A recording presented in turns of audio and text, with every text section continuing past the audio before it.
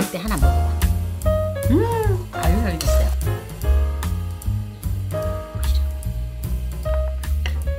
오늘은 파시루떡을 만들어 보겠습니다. 앞에 팥이 준비되어 있는데요. 이렇게 단단한 팥 있잖아요. 요거를 하루 불리면 이렇게 돼요. 이러면 뭐가 좋냐면요. 한번 삶아내지 않아도 아린 맛이 쏙 빠져요. 불린 팥을 흐르는 물에 깨끗하게 씻어 오겠습니다. 이렇게 물이 벌게요.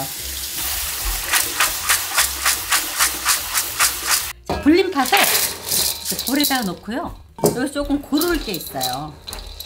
이렇게 보면 절대 안 불른 팥이 있어요. 이렇게 모지랭이들이. 요걸 좀 골라야 돼요. 그래서 어떨 때 팥 삶아 놓고 나면 아 이거 왜 이렇게 단단한 게 있어요 이런 소리들 하시거든요. 어우 돌덩이 같아. 완전히 불린 팥을 웍에다 넣고요.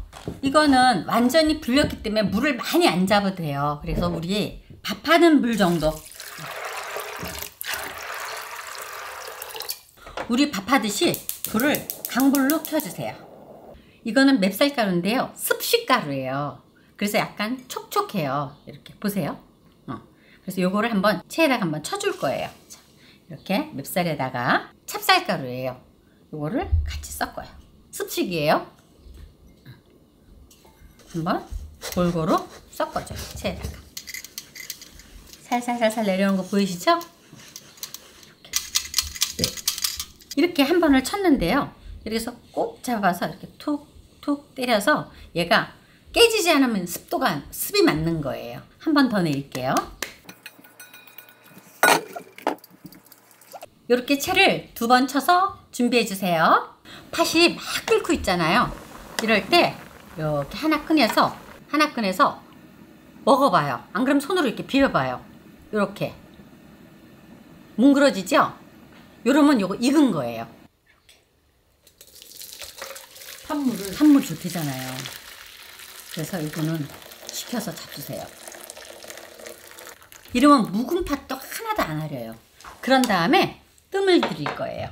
우리 밥 뜸 들일 시 불을 조그맣게 해서 완전히 뜸을 들여주세요. 뚜껑 열어볼게요. 자, 어, 물기가 없죠? 어, 근데 팥에는 아직도 물기가 약간 살랑살랑했어요.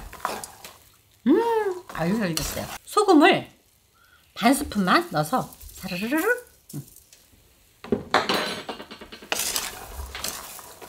우리 집은 팥고물에 설탕이 들어가는 것보다 이렇게 소금으로 간하는 걸 좋아해요. 그래서 저는 소금을 넣는데 만약에 설탕을 넣는다 그러면 다 식힌 다음에 넣으셔야 돼요. 조금만 더 뜸 드릴게요. 한 번 더. 이게 툭툭 이렇게 응, 으깨질 정도. 응.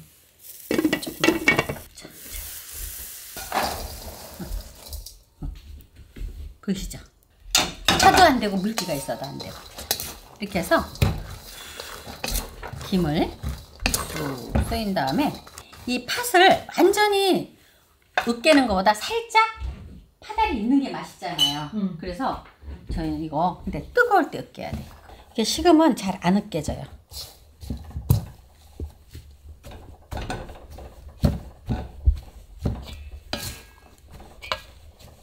팥고물 했으면 얘를 식혀주세요. 맛있어. 간도 딱이야. 이러면 기분이 좋아. 그런데 여기서 나는 좀 달달한 게 먹고 싶다. 그러면 요때 설탕을 넣으면 돼요. 다 빠갖고 식은 다음에 뜨거울 때 넣으면 어떻게 되나 즉 찌름해지잖아요. 그래서 완전히 식힌 다음에 설탕을 들어가세요. 저는 설탕 안 넣을 거니까 그냥 해요. 세 번 안 칠 거예요. 그래서 이렇게 3등분 하세요. 대충. 이렇게. 자, 쌀가루는 두 번을 안 칠 거라서 요걸 2분의 1로 대충 눈대중으로 이렇게 나눠 놓을게요. 자, 맨 밑판에는 설탕을 살짝만 깔을게요. 이러면 떡이 실리콘보에서 워낙 잘 떨어지기도 하지만 더 잘 떨어져요. 특히 면보를 쓸 경우에는 이렇게 조금만 너무 많이 하지 말고 조금만 팥을 앉혀볼게요. 살살살살 펴서 밑에니까 약간 빡빡한가 보다 그냥 약간 음, 잘 펴서 사실은 원래 떡틀을 두고 하려고 그랬는데 마님들이 떡틀이 없으니까 그치. 엄마가 지금 바로 여기다 하니까 조금 떡이 얇게 될 수도 있어요. 곱게. 2분의 1로 나눠놨잖아요. 그러니까 살살살살 펴서 이거는 찹쌀이 들어가서 떡 두께가 얇아, 얇아질 거예요. 맵쌀만은 두껍게 하거든요. 찹쌀이 들어가면 조금 얇아요. 찹쌀떡은 얇잖아. 응. 먹어보면 그지? 물을 스르륵 펴요. 가해가 말라요. 스테요.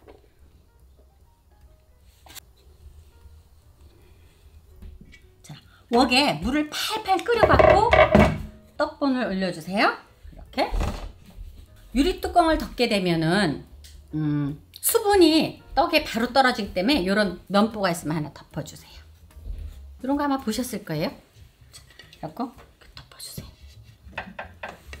시간은 20분 하는데 20분 하고 10분 뜸 들일 거예요.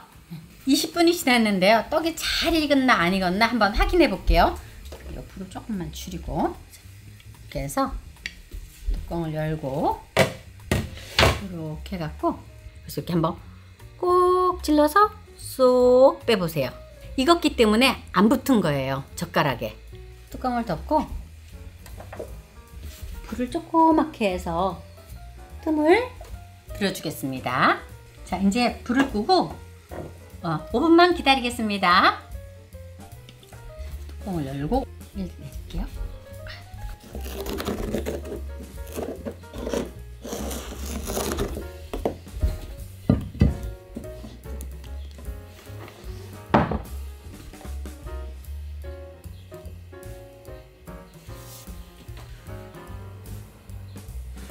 아, 다 됐다. 조금 식으면 자를게요. 자, 잘라볼게요.